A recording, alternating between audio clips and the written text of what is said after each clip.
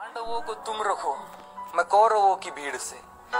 तिलक शिकस्त के बीच में जो टूटे ना वो रीढ़ में। सूरज का अंश हो के फिर भी हूँ अछूत मैं, आर्यवर्त को जीत ले साहू सूत पूत मैं। कुंती पुत्र हूँ, मगर न हूँ उसी को प्रिय मैं, इंद्र मांगे भीख जिससे ऐसा क्षत्रिय मैं।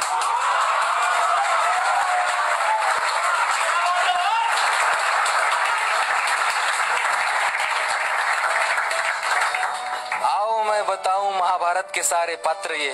भोले की सारी लीला थी, किशन के हाथ सूत्र थे। बलशाली बताया जिन्हें वो सारे राजपुत्र थे, काबिल दिखाया बस लोगों को ऊँची गोत्र के। भाऊ शोण त्याने फक्त वेदपाठ केले म्हणून त्याच्या गळ्यात सोनं उठलं जातं की सोने को पिघला के डाला शोण तेरे कंठ में, नीची जाति होके किया वेद का पठन तूने। यही था गुणा तेरा, तू सारथी का अंश था तो क्यों छिपे मेरे पीछे? मैं भी उसी का वंश था।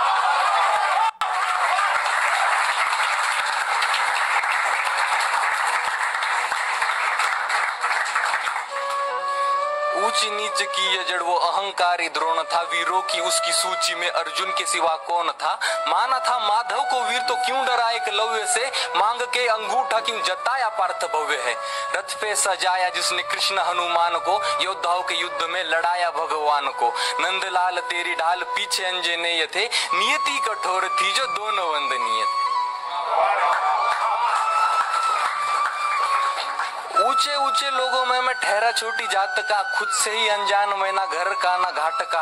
सोने सा था तन मेरा, अभेद्य मेरा अंग था। कर्ण का कुंडल चमका, लाल नीले रंग का। इतिहास साक्ष्य है योद्धा में निपुण था। बस एक मजबूरी थी, मैं वचनों का शौकीन था। अगर ना दिया होता वचन वो मैंने कुंती माता को तो पांडवों के खून से मैं धोता अपने हाथ को।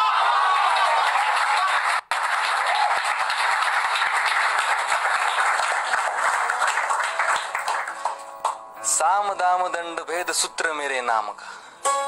गंगा माँ का लाडला में खाम खा बदनाम था। कौरवों से होके भी कोई कर्ण को ना भूलेगा, जाना जिसने मेरा दुख हो, कर्ण कर्ण बोलेगा। भास्कर, पिता मेरे, हर किरण मेरा सुवर्ण है। वर्ण में, अशोक में, तू तो खाली पर्ण है। कुरुक्षेत्र की उस मिट्टी में मेरा भी लहू जीर्ण है। देख, छान के उस मिट्टी को कण कण में करना है।